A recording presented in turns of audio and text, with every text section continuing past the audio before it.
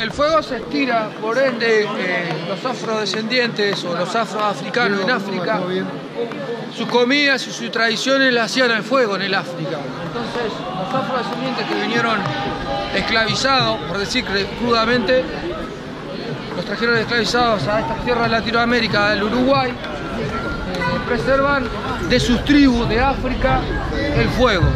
Muchos vinimos hace 20 años, otros vinieron hace 30 eh, o 40 años atrás.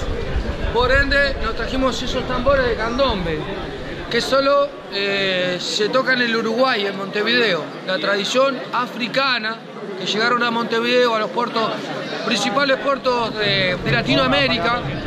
Eh, cada, cada, país, cada país de África trajo su cultura. Acá tenemos el piano, es el tambor mayor, el chico y el repique forman los tres, los, tres eh, sonidos de candombe. Hoy este, este ritmo ha sido declarado Patrimonio Histórico Cultural de la Humanidad. amigo! ¡Vamos Uruguay, eh!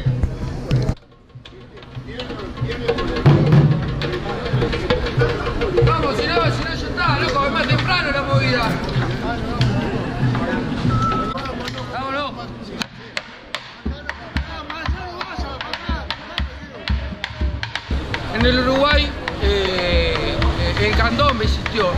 En la época del 60, 40, el candombe se tocaba con la mano.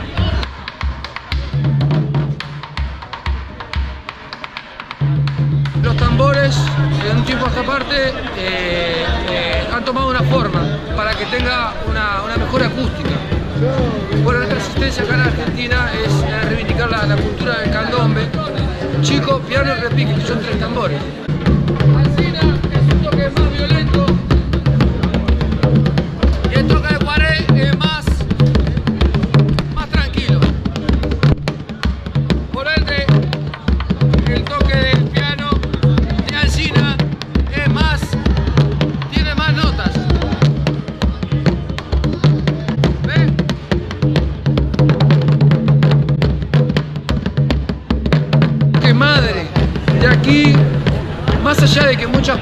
Aprendieron a tocar el candombe, muchas personas que hoy ya no pueden porque son personas que son grandes, que ya algunos fallecieron, no voy a dar nombres, pero ya personas eh, fallecieron. Así que lo que les quería comentar el día de Pascua de hoy es que eh, tratamos de preservar el toque madre que le dio identidad a muchos grupos acá en Argentina.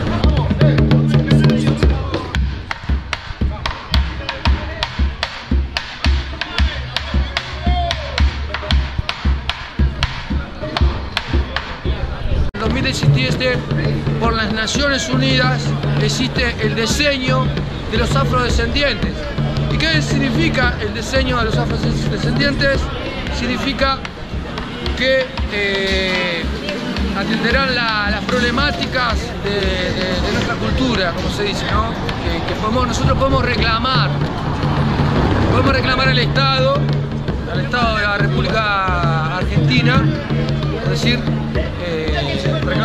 cosas que por ahí necesitamos, ¿no? Como nosotros acá en el movimiento afrocultural es un lugar donde, donde se consiguió a través de, un desalojo que hubo, era el último conventillo que quedaba, eh, digamos, acá cerca, al lado de Constitución. Y bueno, nada, nos vinimos para acá, se consiguió ese lugar, así que bueno, hay muchas cosas por decir y muchas cosas por hacer. Ya muchísimas gracias acá, ¿cómo se llama el amigo? José Ángel. José Ángel. María Elena, ya eh, están bienvenidos a Momentos Afroculturales. Que Dios los bendiga.